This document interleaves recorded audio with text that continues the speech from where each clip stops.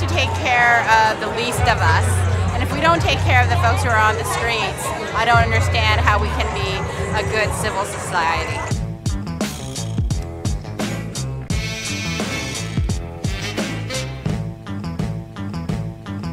Here we are, Juneteenth. I'm Grace Yoo. I'm running for Los Angeles City Council District 10, which is where you're standing.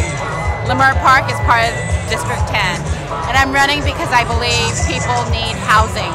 And if we don't have affordable units, that means people can't live here.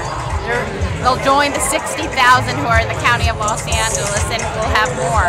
So I think we need to really focus on building affordable units. I think when we are building housing for the homeless, it should be for less than the 700,000 that we spend right now to build housing for the homeless in the city, District 10.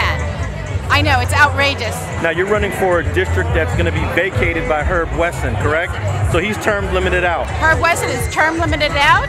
There is no incumbent and I hope to be your council. So who are you running against? I'm running against Mark Ridley Thomas. Don't you think it's going to be a challenge going against a, a, a, big name like Mark Ridley Thomas? No, I would say you've been in there for 29 years. What have you done? I don't want to hear the talk of what you're going to do now. What have you done?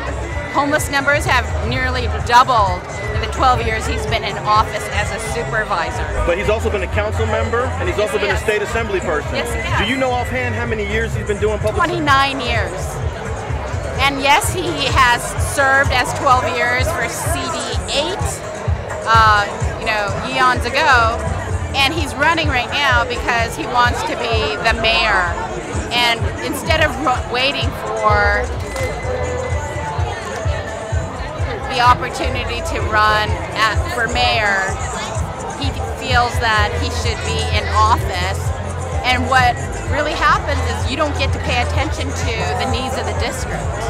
So who are some of your biggest supporters? Uh, Who's um, endorsed you? So Glenn Corrado is a local gentleman who runs the World Harvest Food Bank. The United Teachers Los Angeles, UTLA's endorsement is mine. I also received the endorsement of the Honorable John Chung.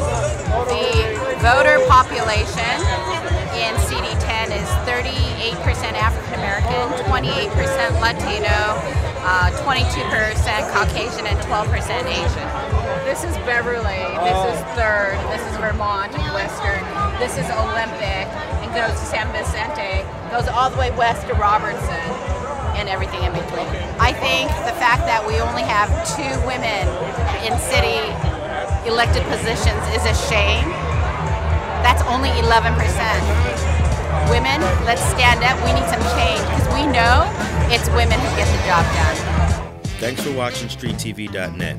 If you're not subscribed, please hit that button below and click the bell to receive alerts and notifications.